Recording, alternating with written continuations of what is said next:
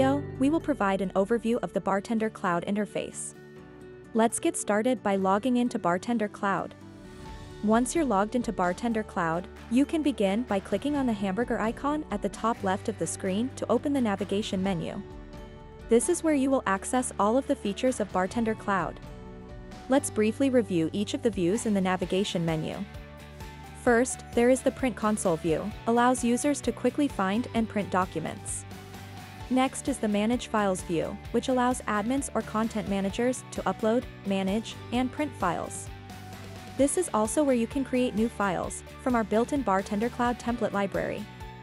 Then there is the Settings view, opens the printing and branding settings for the account.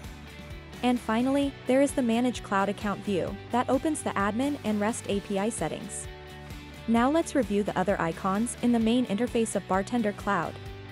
The avatar icon opens a menu that is visible to each user, no matter what kind of user role is assigned. Here you can access your profile and other resources. To the left of the avatar, there is a help icon that opens a new browser tab to our extensive online help system for BarTender Cloud. If you have any questions about BarTender Cloud, this is a great resource to review functionality in more detail. Now you know how to use the BarTender Cloud interface. Thank you for watching.